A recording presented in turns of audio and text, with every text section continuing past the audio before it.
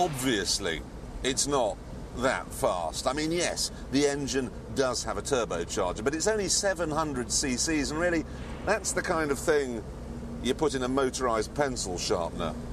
0 to 60 takes 10.9 seconds, which is about three weeks, and the top speed is 109. Ooh.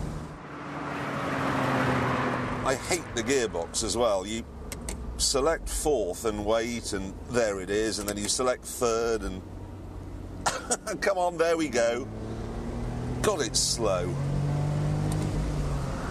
Of all the semi-automatic gearboxes, this is by far the worst, but it takes more than some slow-mo cogs and a minuscule engine to spoil the fun.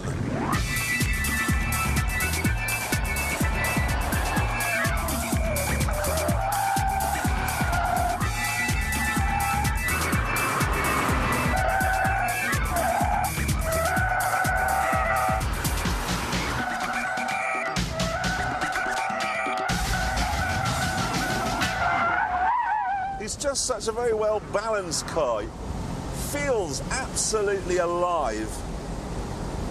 Flick it in one way, flick it round the other. Feel that grip's fantastic. You do have to be a little bit wary of the fact that it is mid-engine, you know, like a Ferrari. And then if you're not quick, it will bite your hand off.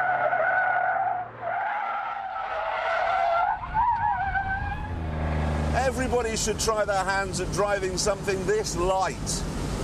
Weight just kills all the fun, really, of modern motoring, and this just weighs nothing.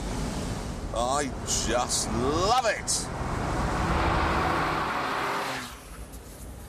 And I love the roof even more.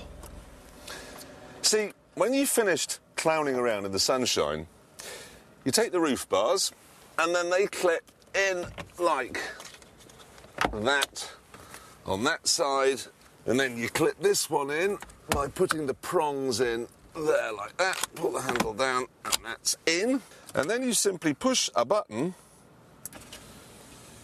and the rest of the roof slides electrically out of its little cubby hole in the boot. Clever, eh?